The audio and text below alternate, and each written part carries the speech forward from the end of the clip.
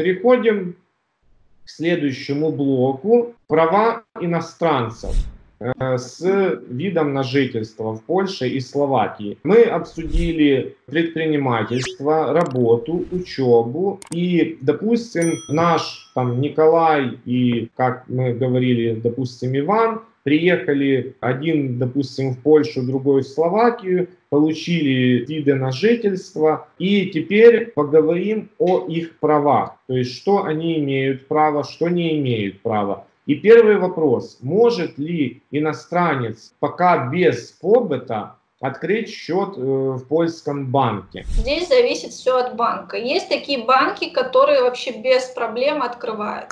А есть такие банки, которые требуют песель. Песель это такой идентификационный номер, что-то типа ИНН российского. Для того, чтобы открыть такой песель, необходимо иметь наличие прописки. То есть, э, соответственно, договор аренды или жилья в собственности. В принципе, проблем с этим нет. Если какой-то банк требует, можно пойти в другой э, и и этот банк э, вместо этого песеля просто будет использовать номер паспорта.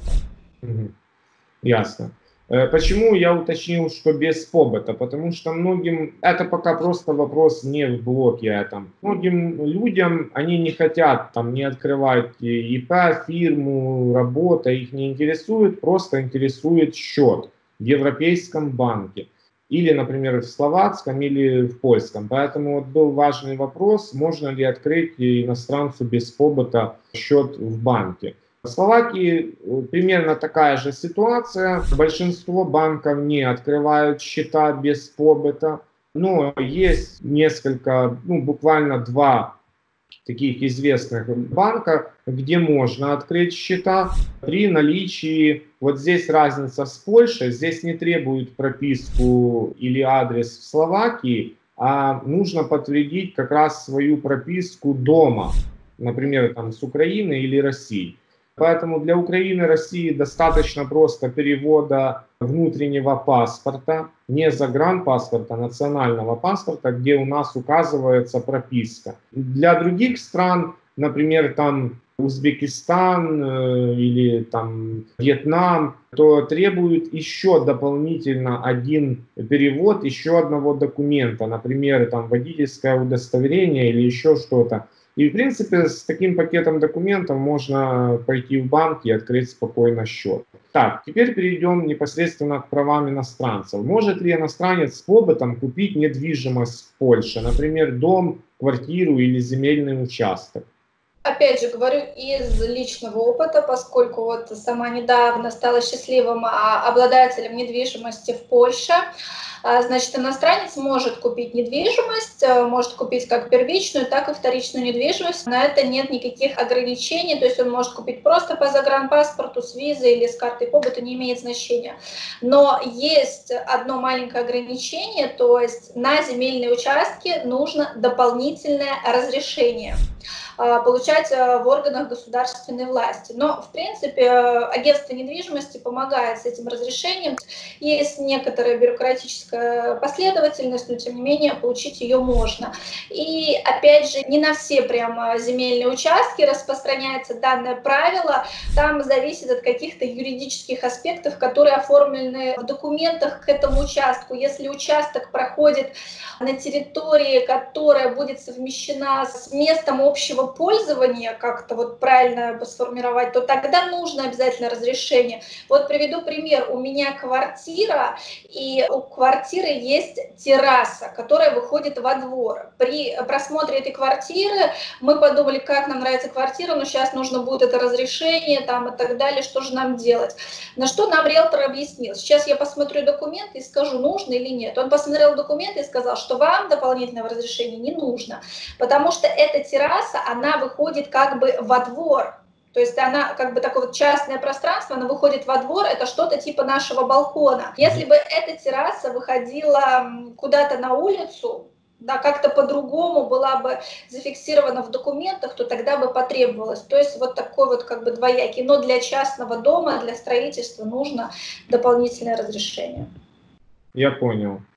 Ну, а теперь перейдем к Словакии. Здесь, э, в принципе, вопросов вообще нету. То есть иностранец э, даже без побыта или еще даже с побытом лучше, может купить э, дом, участок, квартиру без каких-либо дополнительных там, документов и проблем с этим никаких нет. У нас есть ряд клиентов, которые еще до получения вида на жительство купили у Братиславы там, одни три квартиры, другие пять квартир. Ну, с точки зрения бизнеса потом.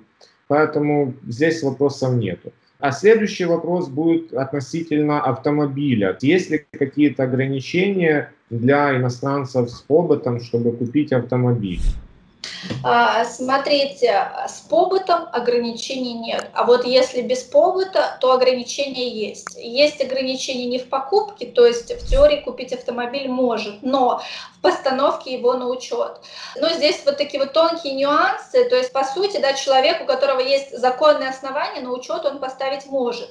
Но если у него без виз или а, виза, которая действует э, там на протяжении там, трех месяцев или скольки, то, соответственно, и на учет будет машина поставлена исключительно на этот срок. Соответственно, это крайне невыгодно и неудобно, поэтому покупают автомобиль только тех, у кого уже есть ВНЖ и уже как бы полноценно ставят ее на учет. Но здесь еще есть эм, такой нюанс, что если есть юридическая компания, то можно покупать автомобиль, регистрировать на компанию ставить на учет без проблем. А, ну, в Словакии точно так же, поэтому не будем останавливаться, идем дальше. В связи с автомобильной темой вопрос, нужно ли менять водительское удостоверение и какая процедура? Менять водительское удостоверение нужно. Процедура в принципе несложная. Для этого необходимо просто прийти в соответствующий орган и поменять свои водительские права, выданные в вашей стране, на польские. Будет сделан запрос в вашу страну, тоже в органы ГИБДД, о том, что действительно вы являетесь владельцем категории таких, таких, таких прав. И, в принципе, все. Если вы не хотите отказываться от своих прав, то нужно будет сдать экзамен. И в таком случае останутся и... Да, перед сдачей экзаменов нужно пройти обучение, потом сдать экзамены. В таком случае вам выдадут дополнительные польские права. То есть у вас будут там и российские, и польские. Очень интересно, да. В Словакии примерно такая же ситуация. Тоже нужно менять но это не обязательно менять домашние права на словацкие. И желательно это сделать в период от полугода после получения карты ВНЖ до года. В таком случае не придется тоже сдавать никаких экзаменов, то есть нужно предоставить там небольшой пакет документов, сдать свои права, получить э, корочку о том, что права обновляются, и в течение там ну, в зависимости от госпошлины или там за пару дней или до месяца можно уже получить права. Но есть разница, например, вот я менял тоже свои права, у меня были категории АБЦ, профессиональные права, на которые я ходил два года, 10-11 класс, это прям как целый урок такой у нас был. И здесь мне при обмене прав поставили открытую категорию только А и Б, а С-категорию, она якобы открыта, но не продлена. Для того, чтобы ее продлить или там высшие еще категории, нужно сдать специальные психотесты, ну, скажем, медосмотр такой пройти, да. Так как мне это не актуально, я не стал с этим заморачиваться, но людям, которым профессионально нужны эти категории, то нужно пройти вот такой психотест и медосмотр. Дальше. Доступна ли ипотека иностранцам с побытом? Под какой процент дают ипотеки и условия получения? Смотрите, по поводу процента тоже сильно не вдавалась в эту тему. Скажу сразу, что ипотека доступна, доступна, но здесь, в принципе, на общих основаниях. То есть, если у человека есть э, карта по быту, то, соответственно, он, э, скорее всего, работает, либо у него есть свой бизнес, да, у него есть какой-то доход. И здесь будет рассматриваться на уровне с гражданами и одобрять, то есть весь пакет документов предоставляете, где вы работаете, да, там, недвижимость, соответственно, от э, реальной э, суммы, которую вы вносите. Чем больше сумма, тем есть вероятность того, что вам все-таки одобрят эту ипотеку. Из личного опыта скажу, что при покупке недвижимости, которую покупали мы, нам одобрили ипотеку сами жильцы. То есть мы смогли договориться не с банком, а с жильцами, да, что вообще просто ну, нереально. Да? У нас даже в стране бы в России такого не произошло. А мы договорились с жильцами, но что они предоставили нам рассрочку а, на приобретение гаража. Вот, то есть мы все условия у нотариуса согласовали, э, как бы, вот. Они ознакомились с нашей деятельностью, с нашим бизнесом, как бы поверили нам, можно сказать, на слово. Вот такие вот условия. То есть мы сами были в шоке, что вот такое вот бывает. Ну, это действительно заслуживает уважения, и такие истории, они вводят нашего человека в ступор. То есть вопрос, что а что так можно было? Ну да, представляете, иностранцу просто, ну, на честном слове, как бы сказать, а можно мы у вас, вас рассрочку возьмем, да, но это как бы вот согласились, у нас очень хорошие отношения, мы выплачиваем, все, все порядочно. Ну да. Ну, тогда пару слов, если позволите, ситуации в Словакии. То есть здесь то, тоже на общих основаниях выдаются ипотеки, и, в принципе, сложностей с этим никаких нету, и каждый иностранец рано или поздно, как правило, рано, Обычно это через 2-3 года после получения вида на жительство происходит. Все запрашивают ипотеку и получают ее и покупают недвижимость потому что это действительно очень выгодно. Ну, обычный пример, например, приезжает семья, снимает в аренду квартиру. Средняя квартира для 3-4 человек это минимум там 700 где-то в среднем евро в месяц. И, например, человек приезжает, привозит семью, начинает работать. Например, для того, чтобы получить э, ипотеку, а ты просто трудоустроен, и карта по быту по трудоустройству, то всего через полгода уже можно идти и просить ипотеку. Ну, допустим, это в среднем там через год где-то происходит. Если это предприниматель на основании ИП или фирмы, то здесь чуть-чуть ситуация другая. Нужно прожить в Словакии минимум один, скажем, полный год от января до декабря, чтобы в следующем, в начале следующего года сдать один налоговый отчет за полный календарный год. Таким образом, у предпринимателя есть подтверждение его официальных доходов, и он тоже с этим налоговым отчетом уже может идти и просить ипотеку. Теперь по условиям. В Словакии ипотеку можно получить под 0,89% годовых на 30 лет. То есть это самые низкие возможные проценты, которые словакам дают, даже еще сейчас чуть-чуть меньше. Иностранцам можно получить под такие условия, но, как правило, дают чуть-чуть больше, где-то там может под процент, 1,2%. Э, Если ты хочешь зафиксировать, например, э, эту ставку в течение там 5 лет, если она фиксируется там на 3 года, то можно и под 0,89. То есть это вообще подсчитано, что рентабельность э, банка на выдачу ипотеки составляет 0,85-0,80%. То есть э, это процент, который, скажем, э, самоокупает вот всю эту процедуру с ипотекой. И, как видите, сейчас она ну, практически вот сведена к этому уровню. И вопрос тогда, а какой смысл банкам э, выдавать ипотеки, если он на этом практически ничего не зарабатывает? Смысл в том, что банки очень серьезная конкуренция, и действительно банки борются за каждого клиента, но это не значит, что выдаются кредиты каждому попавшемуся, извините, бомжу. Действительно идет там серьезный скоринг, проверяется все, и только в таком случае уже согласовывается. Основной заработок идет с дополнительных услуг. Например, там просто потребительский кредит могут выдать, или там обслуживание счета, еще что-то. То есть, ну, какие-то там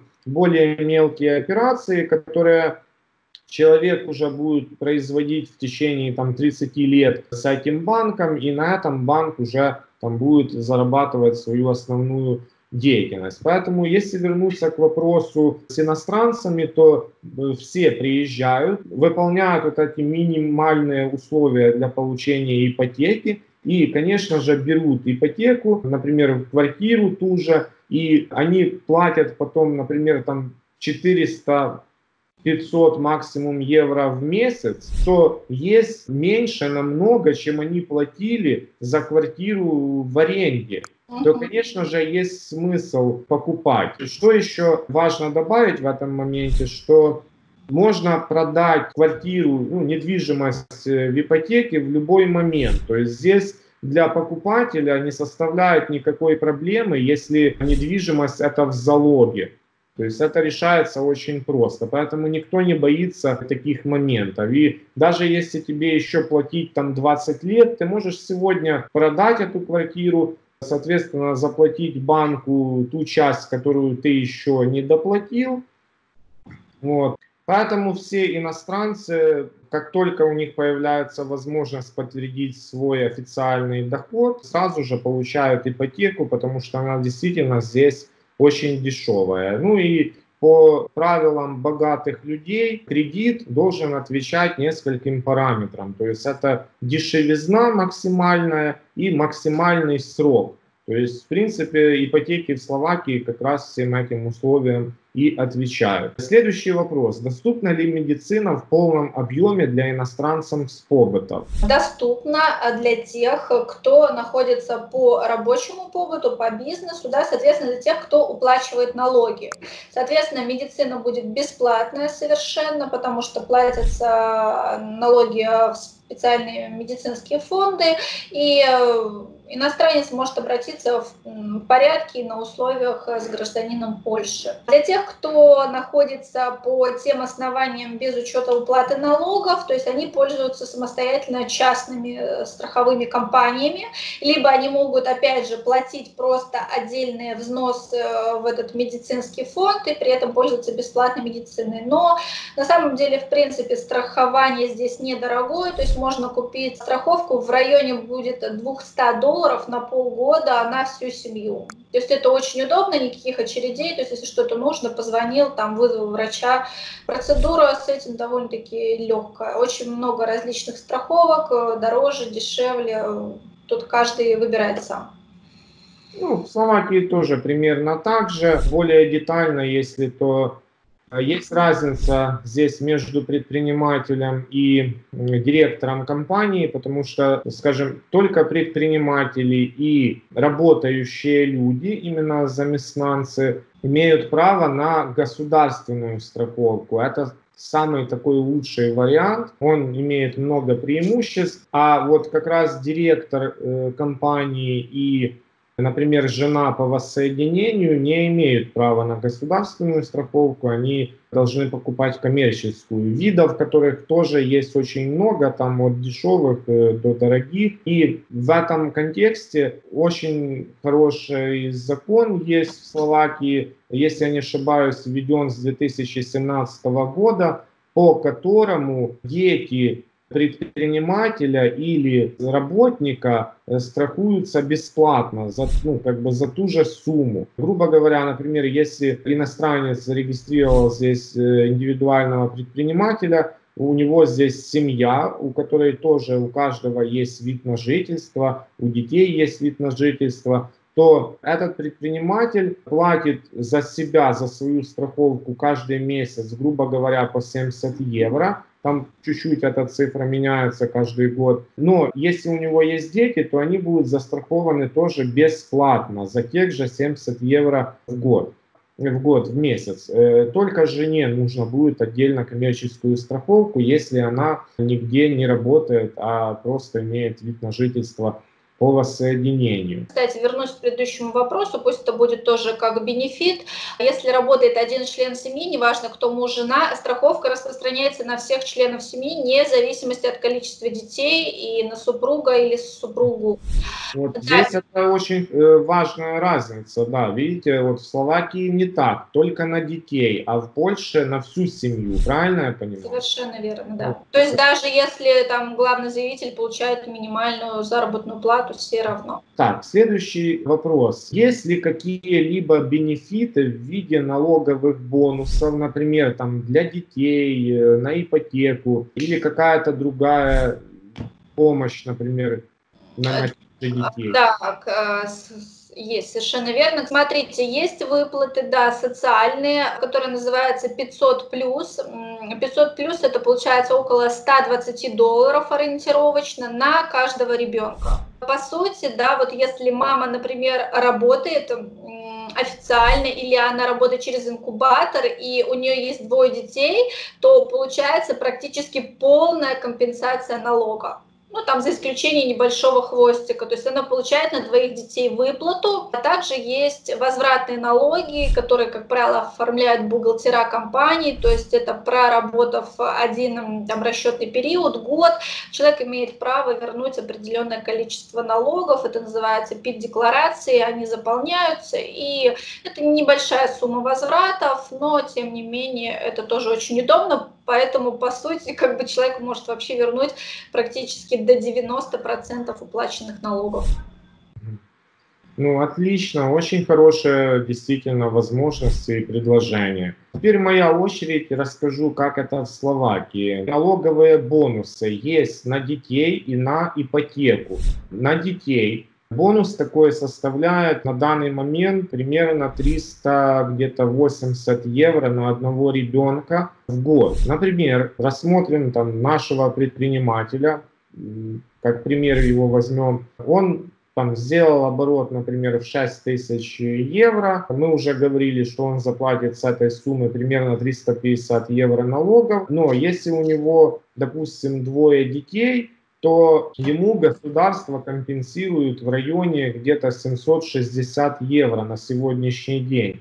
И с каждым годом эта сумма увеличивается. Грубо говоря, заплатив налоги, государство тебе еще и сверху вернет 400 евро примерно так где-то выходит. Но понятно, что если у него обороты будут больше и налогов он больше заплатит, то этот налоговый бонус на детей, он такой будет, он фиксированный, он не зависит от суммы там оборотов и налогов. Мы просто рассмотрели как минимальный вариант для того, чтобы можно было и продлить ВНЖ, и при этом, чтобы все было как бы хорошо. Также есть такой же бонус на ипотеку. Если у вас уже оформлена ипотека, то можно компенсировать часть налогов. Это тоже не маленькие цифры, там в районе где-то 500 тысяч евро. И есть, это уже не относится к разделу налогов, это просто есть такая вот социальная помощь на всех детей. Это не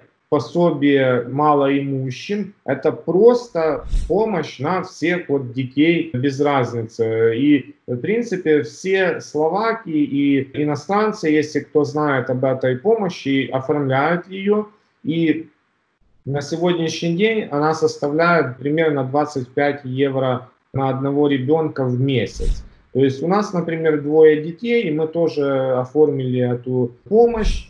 И каждый месяц мне на карточку приходит 50 евро. Немного, да, но как бы, но приятно, так сказать. И при этом не надо сдавать никаких совершенно подтверждений, потом там обновлений, доказывать, что там за год что-то произошло или еще что-то. Единственное, что они следят за сроком карточек ВНЖ, и очень приятно, когда не мы к ним идем и говорим, вот вы знаете, там у нас что-то закончилось, а они сами, вот недавно у нас было продление, сами позвонили, попросили, пожалуйста, мы видим, у вас закончились карточки, как получите новые, пожалуйста, донесите нам, мы сделаем скан-копию, и все, и как бы дальше опять продолжаются выплаты. При этом, пока идет обновление, выплаты приостанавливаются, но потом, когда доносишь новые карточки с новыми датами уже окончания, то, например, за этих там 2-3 месяца за один раз все как бы приходит сразу на счет. И еще интересное дополнение по этому бонусу, я помню, когда мы его оформляли, нам вообще подсказала словачка и даже пошла с нами, потому что мы не знали еще словацкого языка толком. она с нами ходила, помогала там все заполнять. И, ну, на секундочку, эта женщина, ну, по-словацки упротовачка, уборщица, которая у нас в квартире убирала. То есть мы просто со временем с ней разнакомились, там за кофе, за чаем, там пытались как-то общаться, и вот очень подружились. И вот она э, предложила такую помощь, помочь нам оформить этот такой бенефит, скажем. Э, так я что хотел сказать. Мы его оформили где-то через полгода после того, как получили вид на жительство. И нам за этих полгода с начала нашего ВНЖ за каждый месяц пришла эта помощь. По сути, даже не важно, на каком месяце вы его оформляете, вы получите с момента получения ВНЖ вот эти суммы. Ну, как бы они небольшие в рамках там, конечно, ежемесячных затрат, которые намного больше и все такое, но это как бы приятно тоже, почему бы и нет. Следующий вопрос. Есть ли какие-либо преимущества при рождении ребенка у иностранцев с побытом? Есть, но они, э, скажем так, косвенные. Это не то, что в США, да, человек э, рождается на территории, получает э, гражданство по истечению 18 лет. А здесь ребенок, рожденный у иностранцев, он должен иметь основания нахождения в стране, а точнее его родители должны находиться по каким-то основаниям, и, соответственно, ребенок прикрепляется к ним. При этом ребенок получает свидетельство о рождении, о том, что он был рожден на территории республика Польши, и по достижении определенного возраста, при том, что он проживал определенное количество лет, у него будет возможность принятия гражданства. Но он должен будет выбрать да, между гражданством родителей и гражданством Польши. Но по сути это в принципе те же самые условия, что и у обычного гражданина. То есть человек должен находиться на территории республики, то есть он должен законно находиться, должен здесь проживать, потому что в принципе, как и любой другой гражданин. Я понял.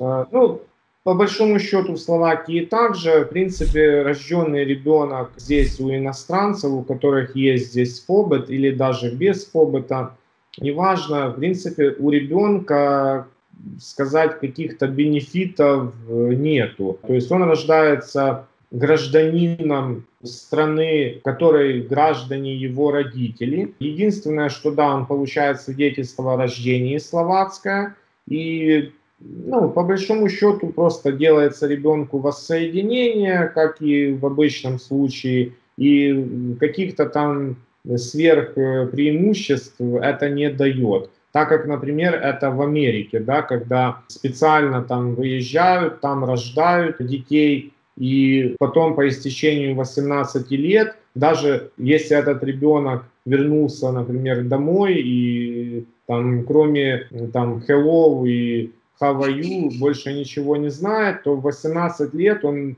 э, спокойно становится гражданином Америки.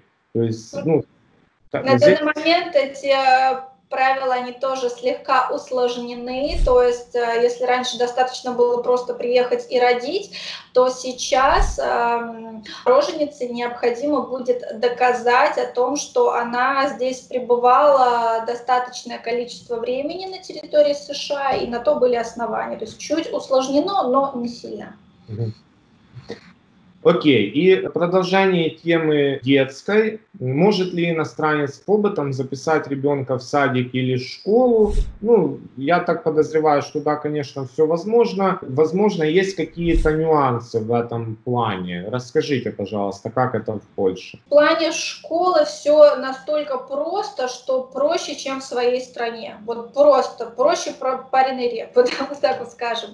То есть для этого нужно единственное, то есть принадлежность к определенному месту проживания. То есть это договор аренды, любая справка, там э, выписка, что вот там проживаете, приносите в школу, что вот этот ребенок проживает по этому адресу, все, его записывают без лишних вопросов и так далее. То есть даже не спрашивают документы, основания вас, вашего нахождения. То есть вы, по сути, можете быть даже нелегалами, потому что это не компетенция школы проверять законность ваших оснований. Есть ребенок, ребенок прикреплен к определенной в школе в соответствии соответствии с его местом жительства, его обязаны взять. Нас взяли в школу вообще, по сути, без даже документов с предшествующей школы, потому что у нас такая система, что мы учимся в школе онлайн, и эти документы все находятся там. То есть нас просто взяли на честном слове, что вот здравствуйте, мы вообще вот в пятом классе. То есть довольно-таки простая процедура, ребенка взяли, он легко адаптировался, все просто замечательно. Садиками немножко посложнее. В принципе, здесь э, необходимо встать на очередь заранее в электронном виде э, в несколько садиков, которые прикреплены, опять же, к месту жительства. Но здесь идет выбор, то есть необходимо набрать определенное количество баллов, чтобы продвинуться в очереди. Баллы начисляются по, опять же, работаете, уплачиваете налоги, основание нахождения, место проживания. Ну, если, может быть, там ребенок инвалид, если какие-то льготы и так далее. Соответственно, чем больше у вас баллов, тем быстрее ваша очередь будет продвигаться. Чем меньше у вас баллов, тем медленнее. Но сейчас мы записали младшего ребенка в садик, вот ждем. В три садика встали на очередь, но, в принципе, опять же, это может быть и с побытом, и с визой, и с чем угодно. Если нет побыта, будет меньше баллов.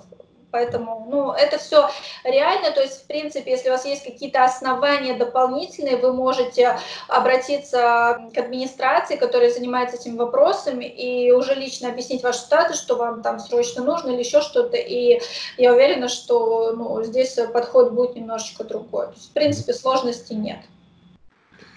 Ну, супер. Э, в Словакии тоже, чтобы подвести итог, нету никаких проблем с этим. И как вы правильно подметили, это намного легче, чем дома. Потому что у нас вроде бы там при имеющемся законе на самом деле много неписанных законов, которые знаем там только мы, да, там в связи уже с опытом то здесь все согласно закону и такая же ситуация. Идешь в садик или школу по месту жительства, тоже нужно предоставить, например, договор аренды или карточку, в которой написано твой адрес проживания. Единственное отличие, что здесь нету системы баллов, то есть просто можно, да, в электронную очередь записаться и там, честно говоря, даже не знаю по какому критерию, наверное, просто по по записи, кто первый там становится, но точно не примут, например, в садик, если там больше, если я не ошибаюсь, 24 ребенка только в группе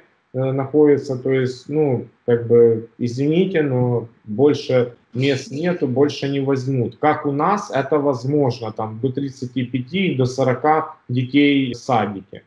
Ну и, соответственно, такая же ситуация в школе. И если, например, в ближайшем садике нету мест, то можно обратиться там, в следующий. И даже если, например, в твоем районе нету свободного места, то по закону уже можно идти даже в соседний район, который не относится к твоей уже прописке. И если там есть места, то могут туда уже принять. Ну, Например, в нашем случае вопросов никаких не было. У нас садик и школа практически вот возле нашего подъезда, и с очередями тоже никаких нюансов не было. Это зависит от района. Некоторые жалуются, что вот они в старом городе или там в новом месте, то здесь, конечно, густота населения намного выше, поэтому могут быть проблемы с очередями.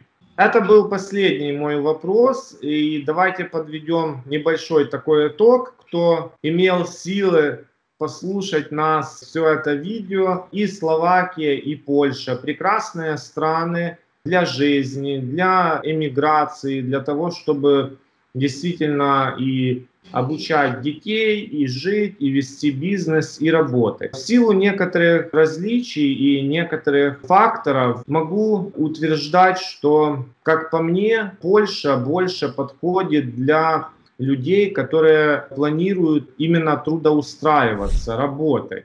Э, в первую очередь, если, например, они рассматривают вариант жить все-таки у себя дома и семья, чтобы там находилась, и приезжать, например, в Польшу, в народе говорят, на заработки, да, то есть ты приехал, быстро устроился, поработал, можешь вернуться, потом обратно точно так же приехать, быстро найти работодателя, или, например, дальше там перевозить семью, делать воссоединение, это возможно. Словакия в этом плане больше подходит для людей, которые планируют открывать здесь э, бизнес именно на основании предпринимательства, так как э, здесь можно и, и э, ЧП открыть, и фирму, и воссоединить сразу детей и жену, с этим никаких проблем нету. Достаточно лояльные, невысокие условия для продления, поэтому Именно что касается работы, то здесь сложнее процедура, чем в Польше. Возможно, но намного сложнее. Мы уже это обсудили. Кто хочет, может от, отмотать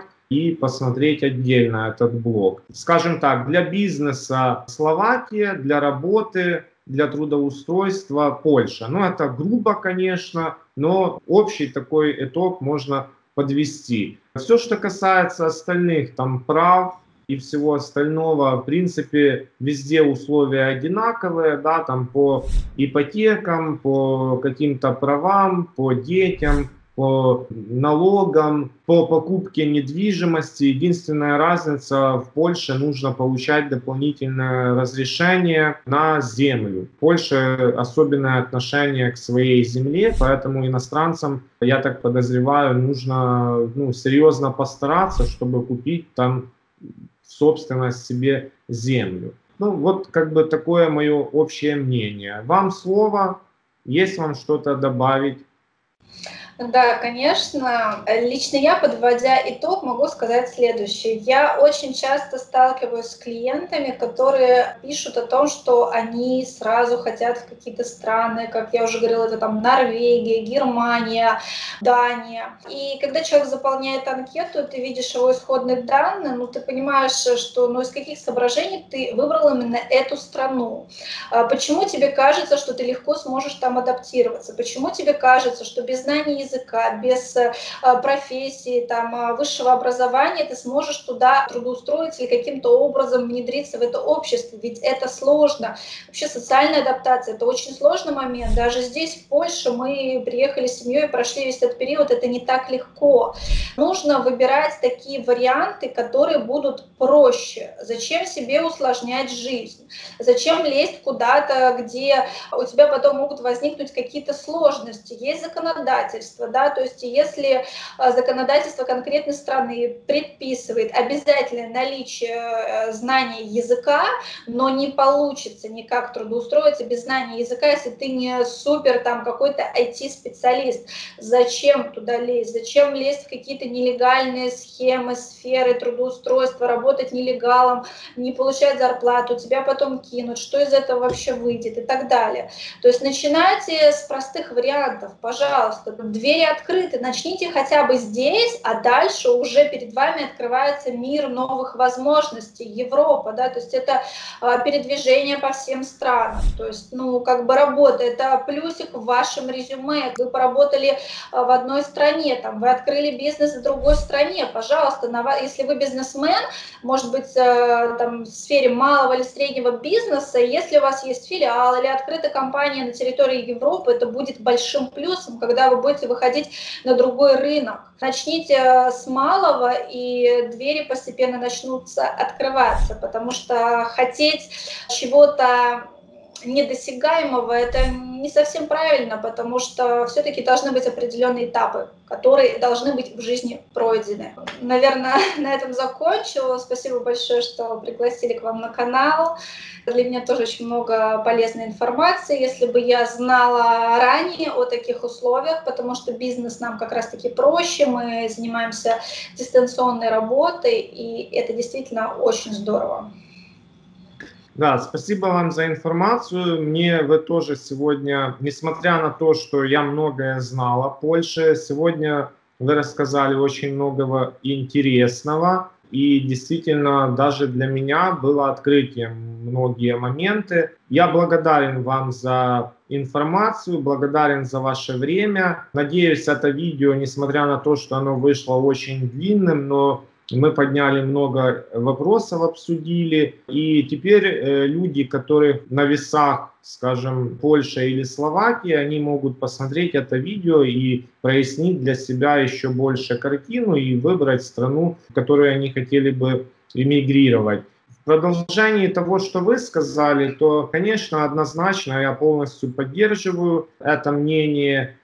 И дополню, что еще есть такой момент, что э, Польша и Словакия намного ближе нам по менталитету. То есть если просто вот абстрагироваться в какой-то стране, открываешь глаза на улице, ну, такие же люди, такая же одежда, только там чуть-чуть язык другой, который ты не, не был раньше никогда в этой стране, сразу же с первого момента там на процентов 30-40 уже понимаешь. А прожив там 3-4 месяца, полгода, так уже разговаривать начинаешь. То есть я к тому, что легче адаптироваться в таких странах, при этом все хорошо с бизнесом, с работой, экология, природа, медицина, образование, ну, много можно перечислять, чем, например, поехать в Канаду, при том, что я очень люблю эту страну, безумная классная природа и вообще все супер, или, например, там в Японию или в Китай, где, ну, для тебя вообще все другое.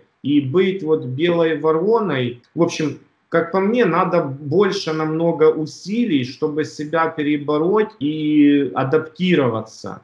И не все, не, не у всех такой порог э, есть, скажем, прочности, чтобы вытерпеть все эти испытания, которые перед человеком становятся. Поэтому тут вопрос не только денег, а вопрос вот многих-многих факторов.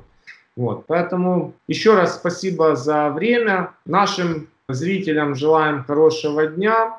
Следите за нашими видео, подписывайтесь на канал Алены, подписывайтесь на наш канал. И может мы найдем еще интересные темы совместные и возможно в будущем будем еще записывать совместные видео.